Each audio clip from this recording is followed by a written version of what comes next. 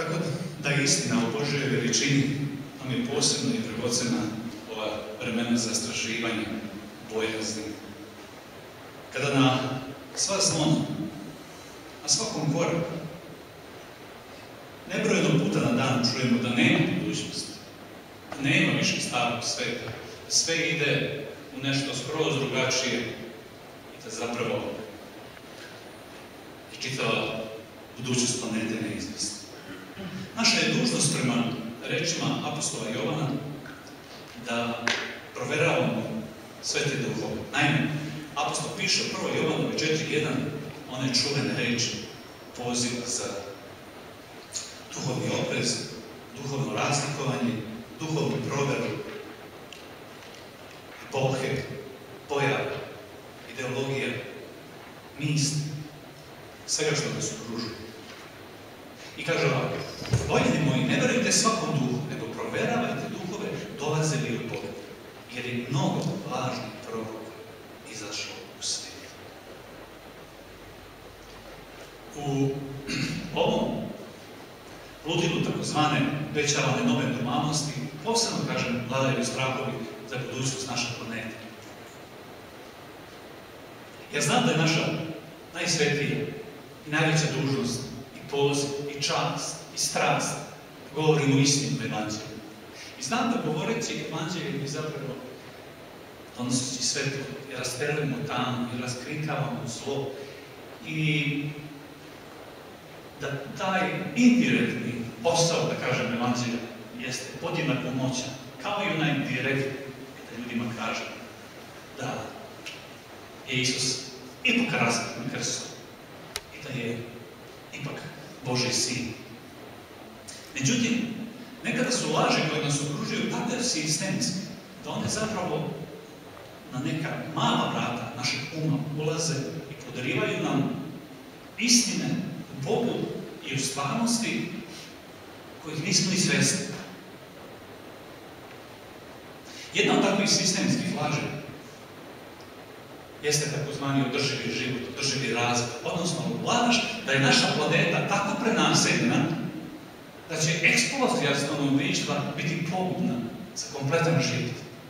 I da zapravo smo mi vrsta koja razmnožavajući se uništava samu sebe.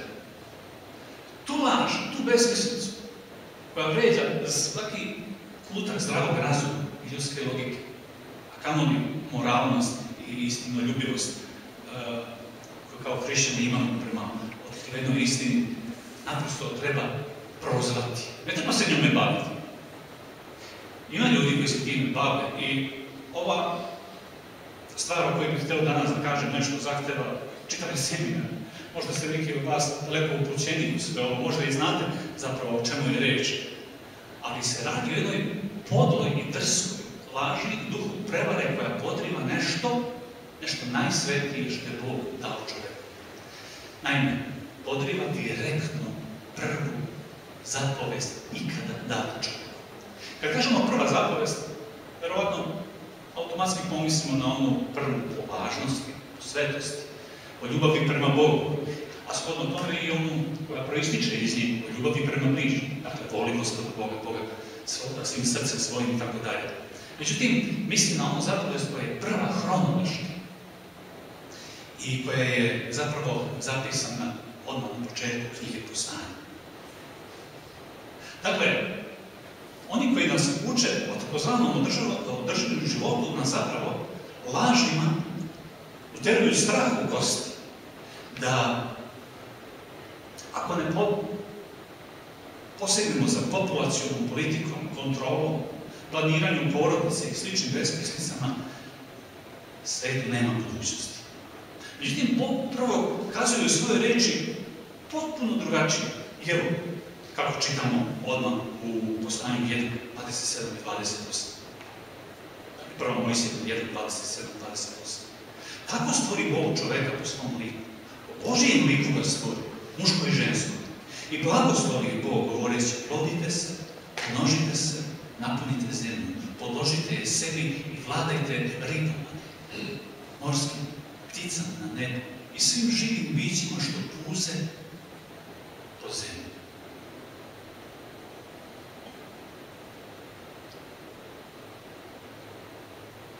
Prevara na to što smo prošli, brojko 7 milijarda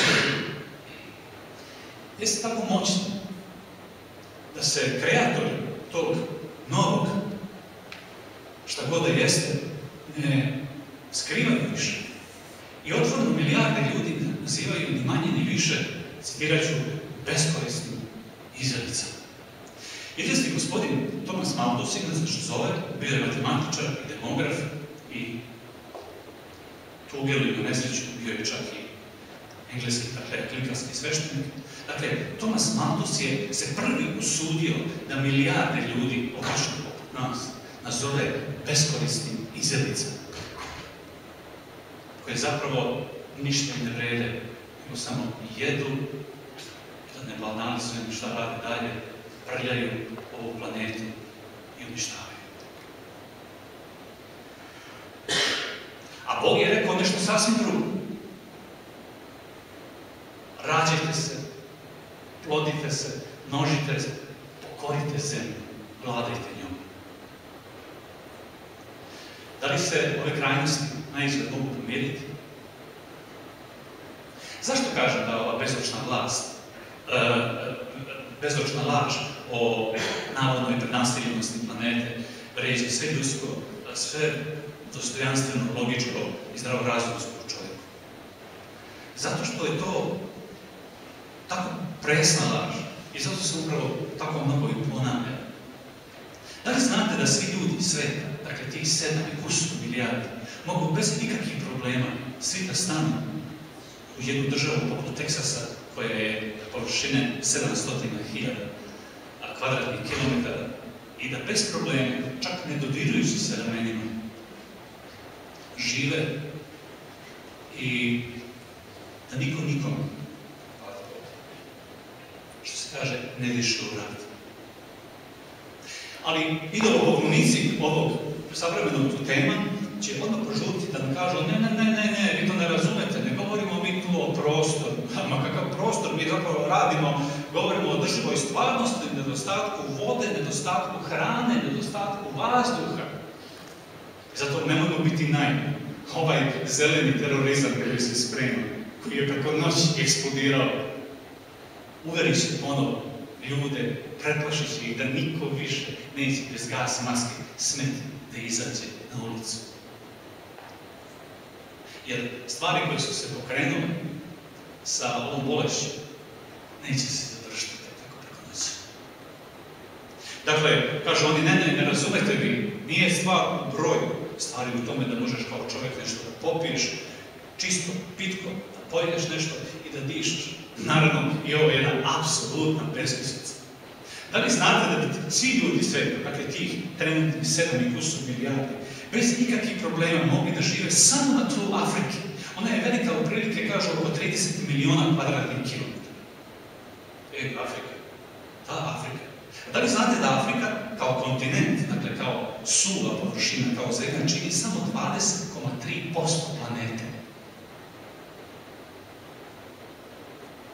I to, dakle, drugi kontinent po veličini, čak i sa onolikom Saharom, kad pogledate kartu Afrike, odmah vidite Saharu, ne možete da je ne vidite. Ogromna, najviša pustinja. Zauzima, ne znam koliki deo.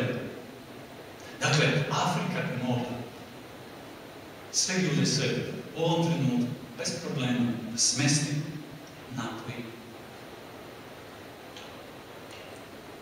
da se najde. E, naravno, sad dolazimo do drugog pitanja. Čekaj, čekaj, ti nama hoćeš da kažeš da bi svi ljudi mogli da imaju dovoljno da jedu?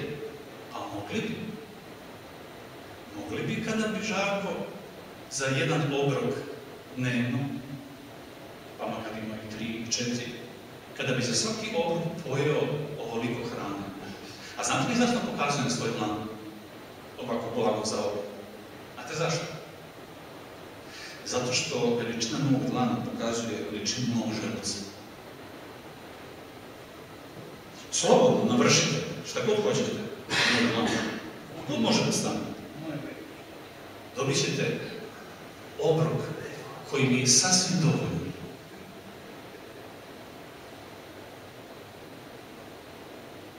E sad,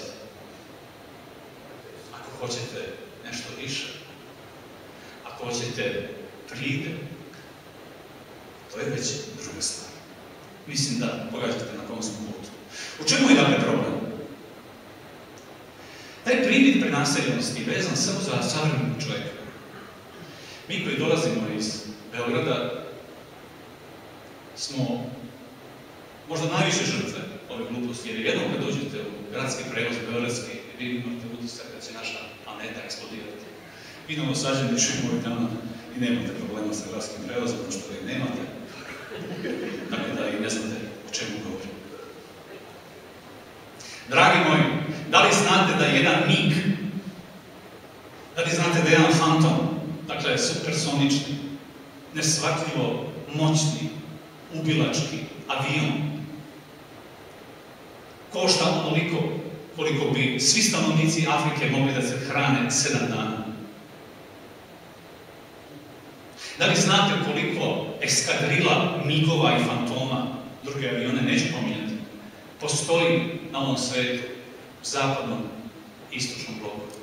Koji hiljade i hiljade, koliko ih se pravi?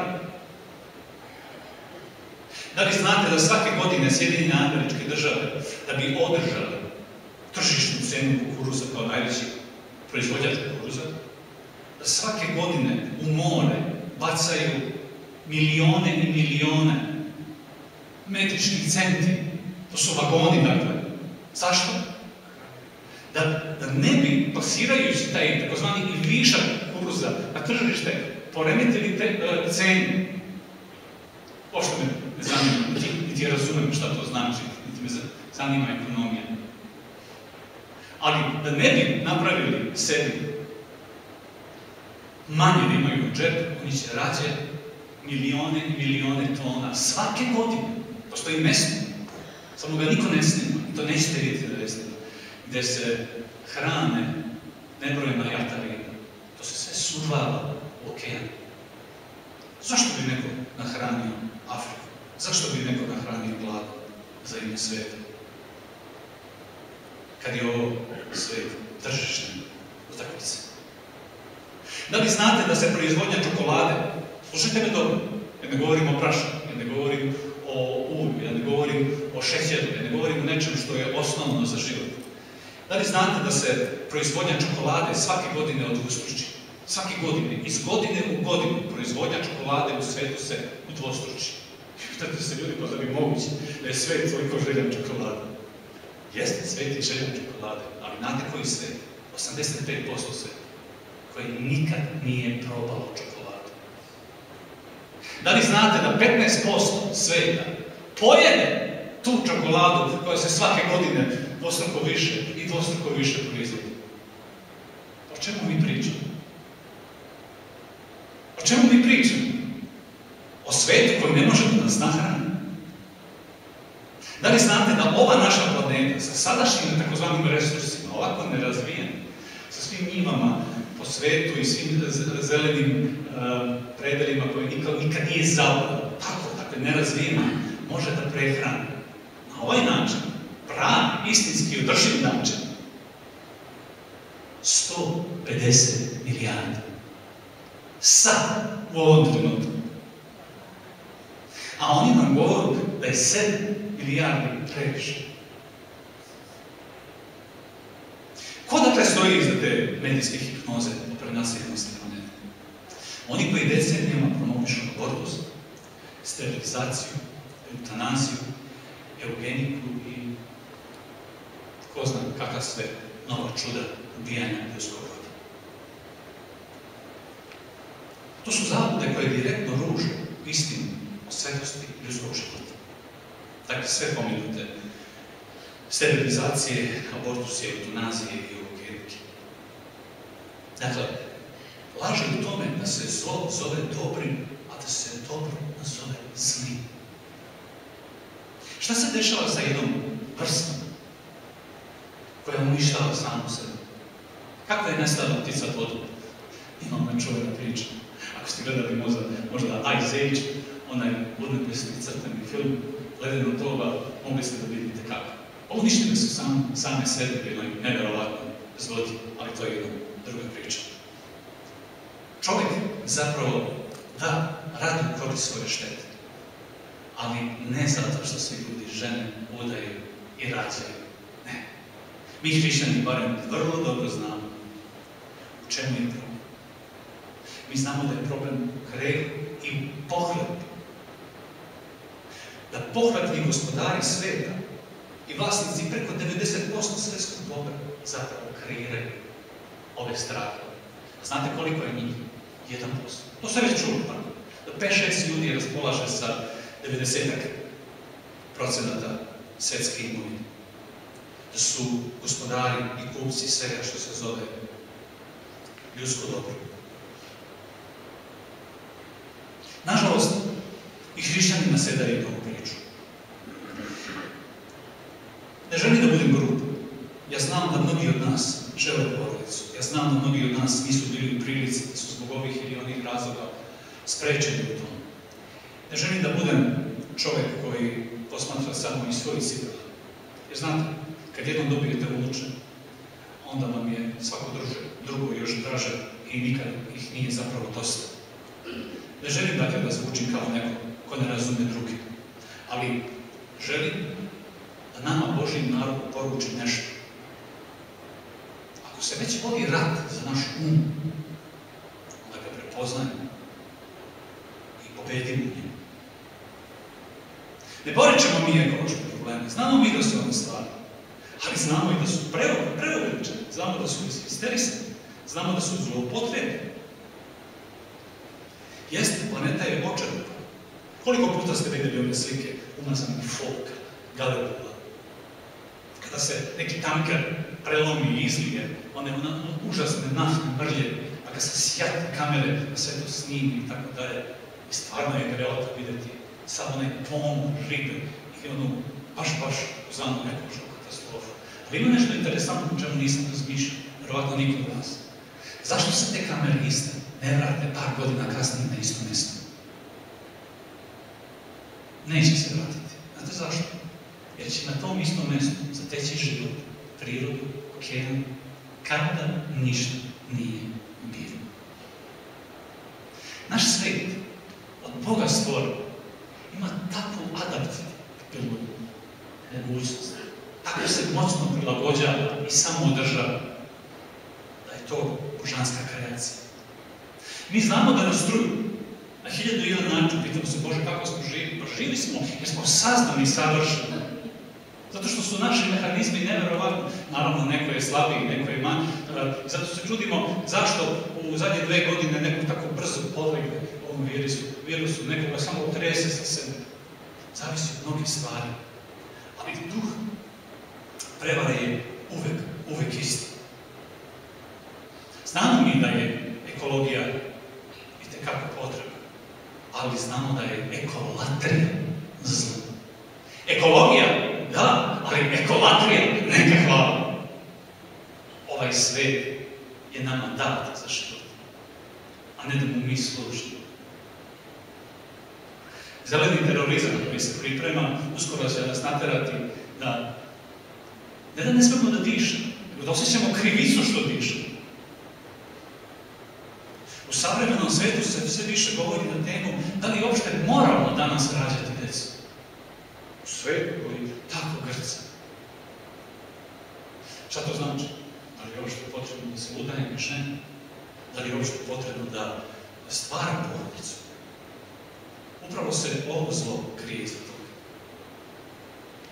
Bog je jasno rekao da želimo da, da želi čoveka koji gospodari planetom, ali stvarno odgovorno i stvarno održivo. Još u Edenskom vrtu je rekao, radi, čuva, brini. Ne treba nam svita ekološki stručnjak da nam kaže da planetu treba čuvati, da ne treba uništavati, seći, paliti, bacati, prljati. To zdrav razum i elementarno osjećanje za život govori. Pavle kaže u 1. Korinčanima 4.2 da se od pravitelja očekuje jedino da bude vera. Želimo da budemo verni prema Božoj tvoreni. Verni kome? Saznatelju. A ne zelenoj agendi koja se zapravo klanja pred majkom, prirodom i Bogom slučaju, koja se klanja u stvari evoluciji. Kažem, ovo je posebna tema i nećete verovati. Vjerovatno nećete verovati. Postoje jasni pokazatelji da broj stanovnika u svijetu pada. Pada. Ne raste, nego pada. Svi znamo da živimo u zemlji koja sve više liči na gerontološki centar, tako? A zašto je to? Izgubili smo, kažu, demografiju onaj zamanjac, nema ko da rađe, među 20 i 40, gotovo je, treba da prođe ne znam koliko vremena da ponovno krene. Ono što je priroda propisala, ono što je Bog poželao. Dakle, šta je pravi problem? Problem je zapravo, mi znamo, u duhu prevara. Prvo Timoteju 4.1 Pavel piše da duh izričito govori da će se u posljednja vremena neki okrenuti od vere i povesti za duhovima prevare i za učenjima zlih duhova. Kakav duh stoji iza učenja da je za ovu planetu najbolje da nema ljudske vrste?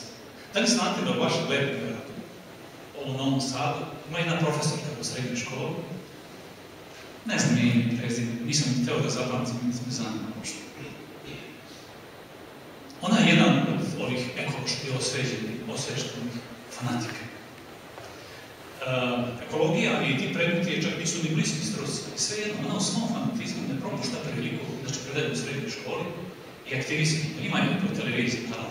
Ona ne propušta nijednu priliku da učenicima sa najvećim cinizmom i gađenjem govori da je za ovu planetu najbolje da ljudska vrsta nestane.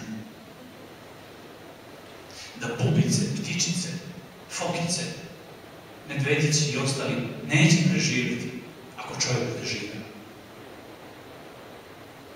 Neka srednija vremena, to su čike u belim antjelima leče. I te dijagnoze su imale svoju šifru tako dalje. Već su tražili lekarsku pomoć. A danas ih, što je rekao Đove, postoje pravo pred kamerom. Ludica je kamer otpočena ostala. Proberto, molim se. Prilike ide tako. Dakle, ne čudimo se, ne ljudimo se na one koje to ne vide i ne razumiju, koju srljaju, jer to nije stvar ni inteligencije, ni obrazovanja, ni logike, već duha prevare koji je na delu. Duh prevare, koji vas duhovno omađija.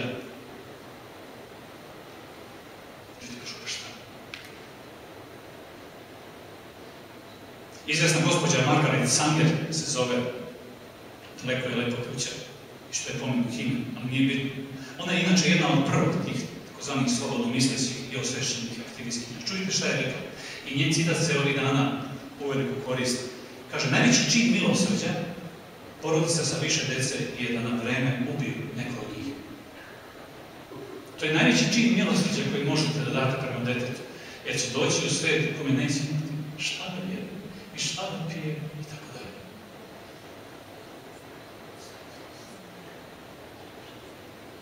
Gdje je rešenje? Rešenje je samo u jednom programu, samo u jednoj takozvanoj agendi, ali ne u agendi 2030. Ne u sličnim besmislicama nove normalnosti. Voli gospoda Boga svoga, svim srcem svojim, svom dušom svojim, svim umom svojim i svom snagom svojim. A druga zapovest je voli bližnje svoga kao samom sebe. Nijednih drugih zapovesti nema važnijih od ovih dveju kaže gospod Marko 30-31. Žao mi što nisam stigao da pripremim na PowerPointu nekoliko podataka i slika. Verovatno niste čuli za gospođu Paivi Rasane. Evo ovo ime već koliko god je neobično, izgovaram se ponosno. Gospođa Paivi Rasane je finkinja. Očigledno, po zgodnom imenu. Ona je inače hrišćanka i parlamentarka koja ovih nedelja se nalazi na sudu da je čereči gej lobby. Zašto? Zato što je u finskom parlamentu otvoreno govorilo korist prirodne porodice, dakle brak muškarca i žene, je rekla da Finskoj nema budućnosti sa abortusom, sa transgenderskim ludilima i tome slično. Tužili su je, a verovali ili ne, tužilac Finske se poziva na sveto pismo kao knjigu mržnje i traži, osim da njoj oduzmu sva politička prava, da je novčano teško globe i tako dalje, da Finska kao država razmisli o tome da li da uopšte dozvoli citiranje svetog pisma u javnosti. Gospođa Pairi Rasanen, Bog dao blagoslova i snage, sve to prihvata sa osmehom i kaže nema te kazne prednje za koje se ja kao žena, majka, supruga i hrišćanka odrekla onih istina koje su Bogom dane. Da li znate koja je Roberta Macova? E, to je već malo izgovorljivije. E, gospođa Roberta Macova je dole inače novo izabrana predsjednica Europskog parlamenta. Kako pratite politiku? To je žena koja je također došla na teški udar svih ovih uh, osvešćenih takozvani, zato što ne krije svoj stav i o abortusu. I rekla je da ako Evropska unija nastavlja da ruši hrišćanske temelje svoje sobstvene civilizacije, ona će nestati. Gospođa Roberta samo što nije razapeta medijima. Izgleda da Bog ima čudan smisao za humor. Tamo gdje muškarci zakažu, on podiže žene sa golim osjećaj za starost. Ali neka. Danas je inače hit u svetu.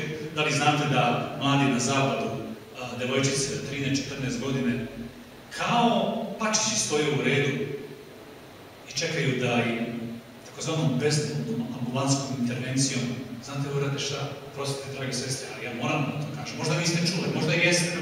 Hit među tinejdžerkama ove nove normalnosti jeste zahvat čupanja jajnika.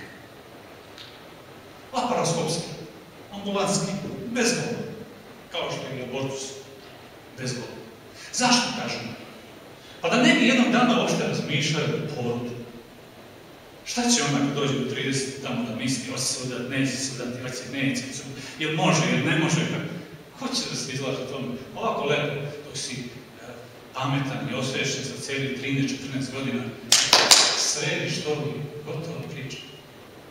To je svet u kojem mi živimo.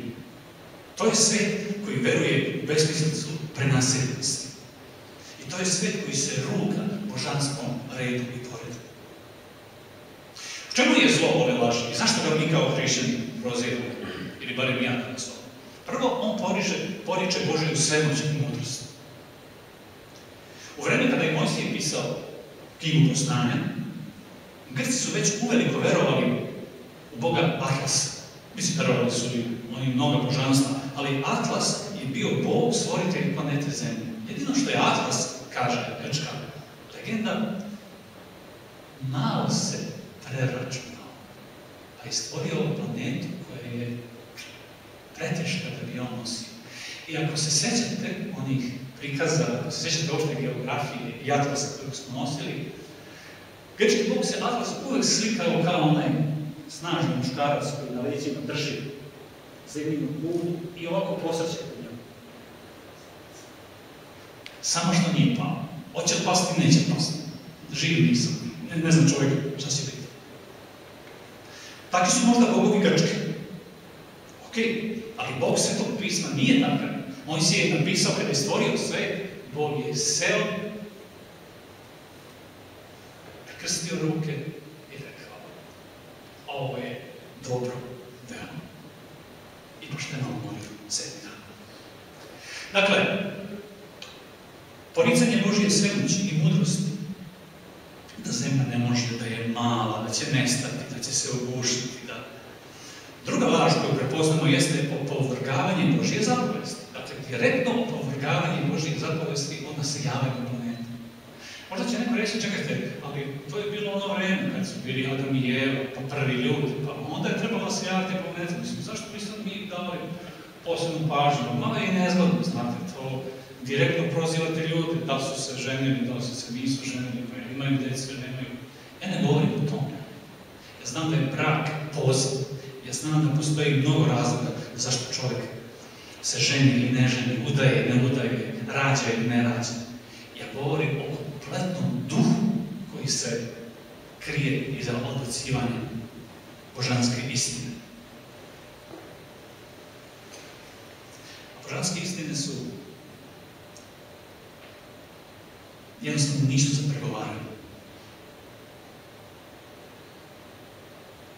Kažem, ovo je jedna posebna tema i mnogo bi nam trebalo vremena samo da govorimo o tome kako se sve kroz istoriju i broj stanovnika menjao, opadao, rastao, ali nikada nije radio korist svoje štete.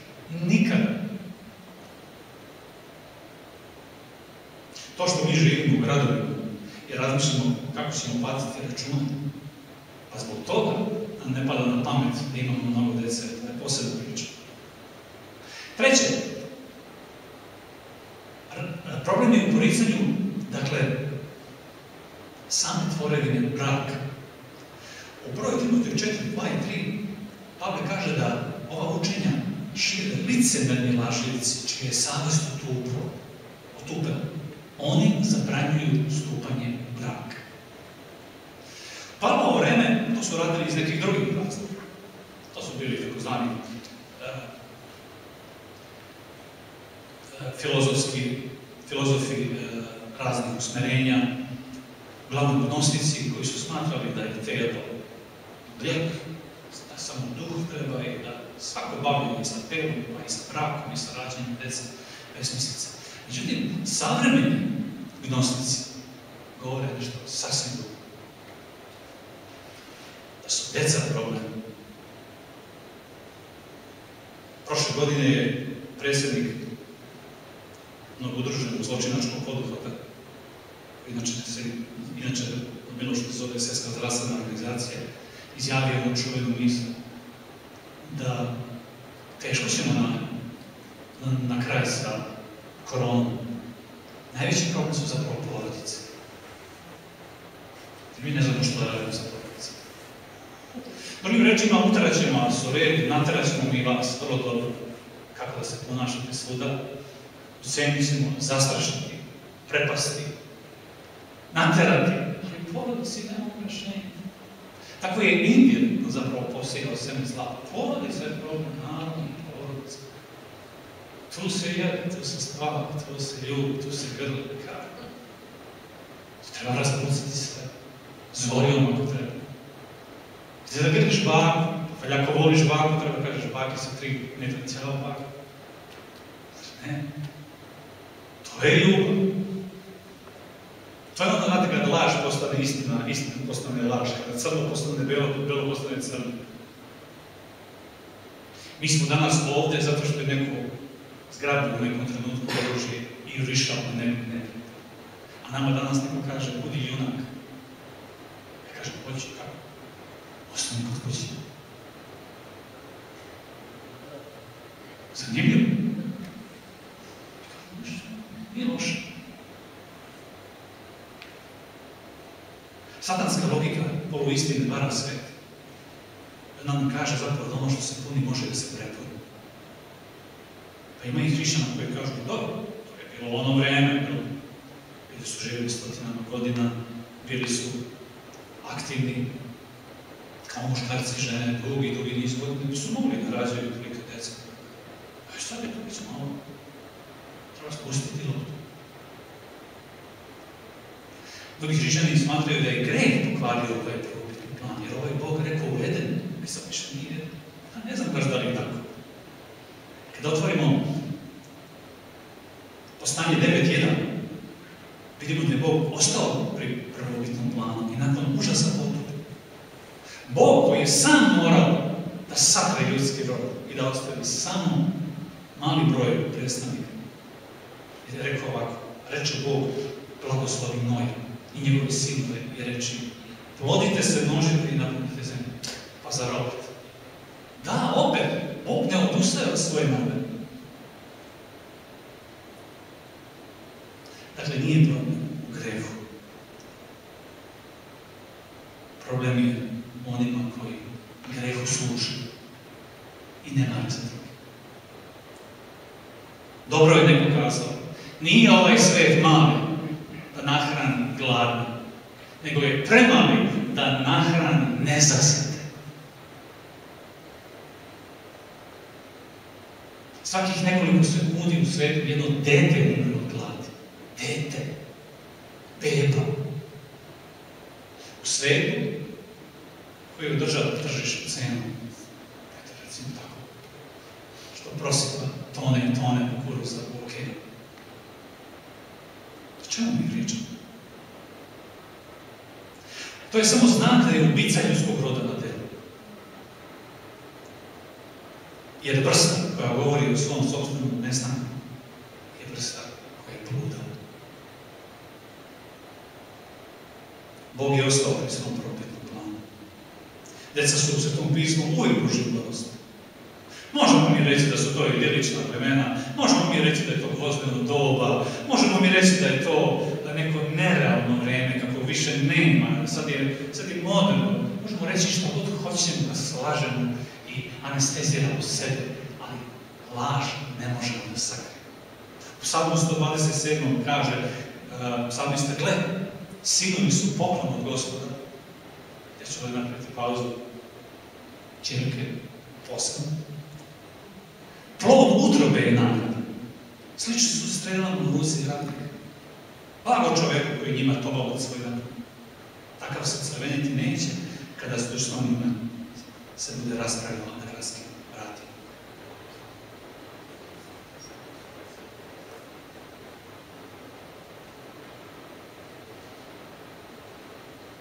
Milioni i milioni tineđerki u Aziji su sterilisani u ime jednog medicinskog zahtjeva koji baš ne treba ponavljam ovdje. Jer možemo sutra nekog nas cenzuriše tako da U Africi ne znamo šta se dešava po tom pitanju. Abortus, eutanazija i sistematsko obezkrivanje mladih ljudi da se stupaju u brak, da rađaju decu,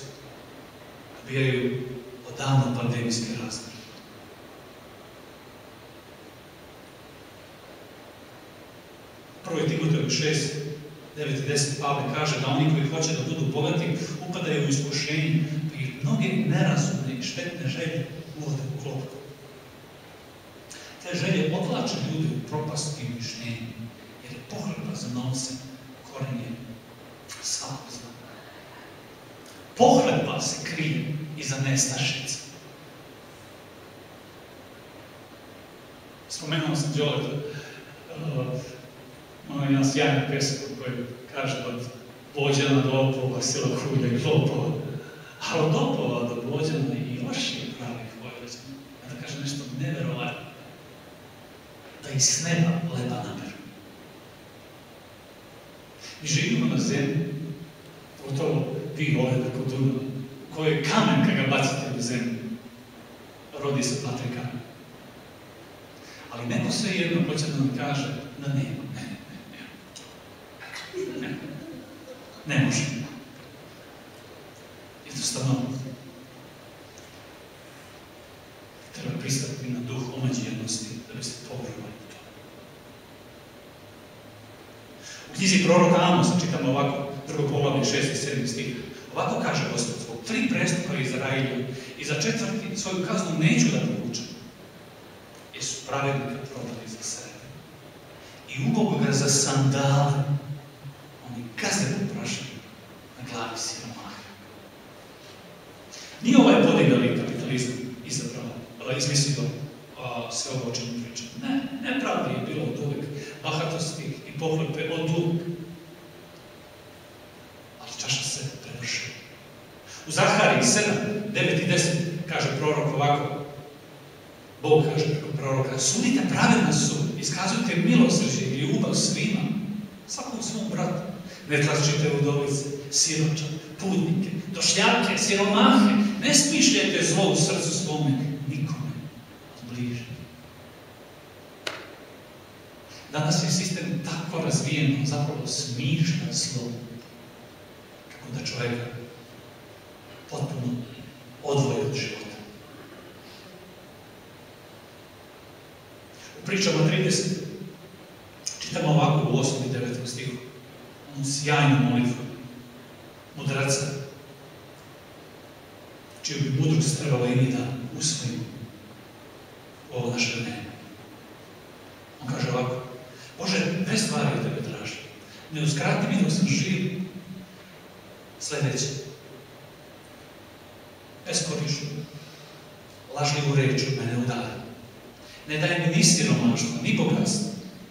Daj mi hleba da jedem, tek da se najem. Da se ne bih zasjetio. Pa odrekao i rekao, ko je Gospod? Ili da ne bih osiromašio, pa krav i ružio ime bogatstvo. Tajna zadovoljstva života nije ni u imanju, ni u neimanju, nego u raspolaganju onim što je Bog dao.